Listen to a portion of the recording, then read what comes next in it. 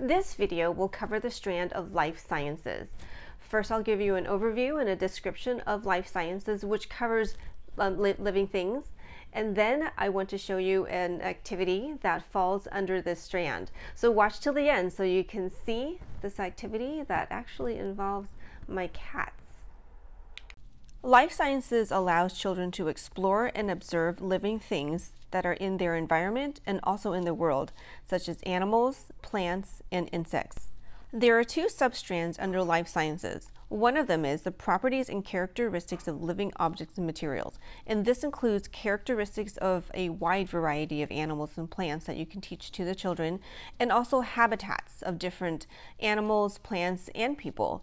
And so, for example, in the picture you see, there's birds, and where do birds live? They can talk. You can talk about nests and how do birds build their nests, and where do birds build their nests. Also, maybe comparing what types of animals live in colder environments versus hot environments and different types of plants that you'll find in these different types of environments. The other thing that you can talk about under this substrand is the body parts of animals and humans and also different parts of plants and processes of humans and animals and plants, which includes um, sleeping, eating, and breathing. Also, if you continue to teach um, children about birds, just like in the previous example when we were talking about nests, and, then so then you can talk about um, different parts of a bird. You can ask the child what helps the, um, the bird fly and they can identify their wing. And then also you can point out the beak and why do birds have beaks and just different types of birds and compare and contrast different types of birds and their parts. An important concept for children to learn in this strand is to distinguish between living and non-living things. Some properties and characteristics that distinguish living things over non-living things include growth over time, the need for food and water, the healing and regrowth when damaged or hurt, and having a life cycle, such as going from a seed to a sprout to a plant, or going from a baby to a child to an adolescent to an adult. So by knowing these properties and characteristics, children can learn how to distinguish between things that are living and things that are not, and identify that a flower is a living thing and rocks are not.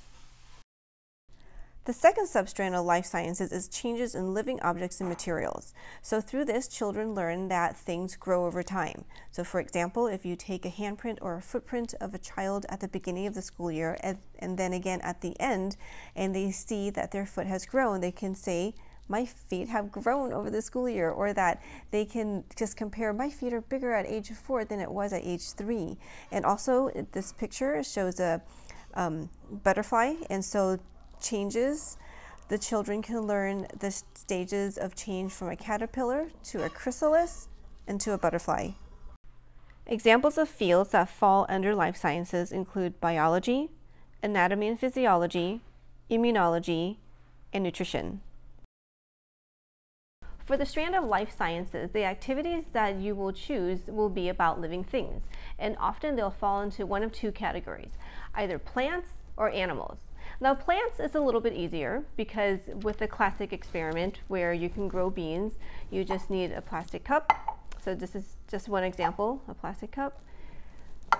And then um, some cotton balls and some easy to grow seeds such as peas. So just dampen the cotton balls just a little, not, not too wet. Oops, a little bit too much here. Um, and then put that on the bottom of your cup. You can use more. And then what you will do is then put some seeds, or you can put the seeds first and then put the cotton balls on top. Allow the kids to just wait a few days and then to see if that will sprout. And then they can watch a plant grow and then you can talk about the start from a seed all the way to a little pea sprout and they can take it home and plant it in their garden. Another activity that you can do if you would like to teach the children about animals is to read a book about a certain animal. So here's an example, Six Dinner Sid. So you can read about this wonderful story.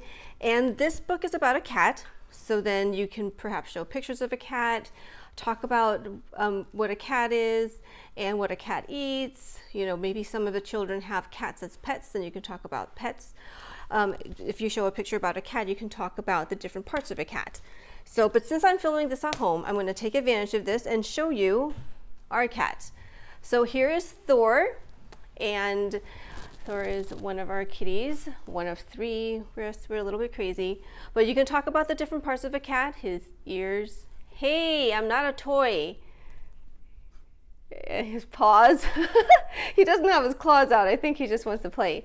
His tail, but and his whiskers. Something interesting about whiskers is that it is their sense of touch and it helps them to get to know the environment around them. So if you ever see a cat try to squish through a little square, you know, like for the cat door, the whiskers actually tell them if they have enough room to squish through that door. And so that's what the um, one of the um, purposes of their whiskers are, is to help them to know their environment, to help them to see better in the dark. Hey, what's the deal? So, and did you know, I don't know if he's going to let me do this, but cats also have whiskers on the back of their front paws. And then that way, if they capture an animal, you want to capture my hand? It can tell them if it moves. So let me see, can I see your paw? No, no, no, no, no. Thor. yeah, so if you look on the back of a cat's paw, there should be some whiskers also. All right, so that's just an idea about how you can teach life sciences to a child. Don't bring a swatting cat to class.